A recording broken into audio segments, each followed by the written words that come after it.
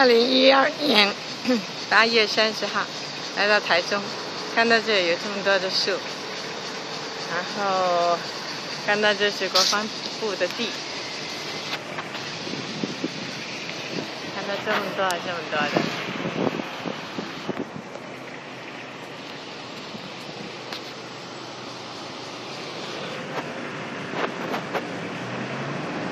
我不禁想到台北的。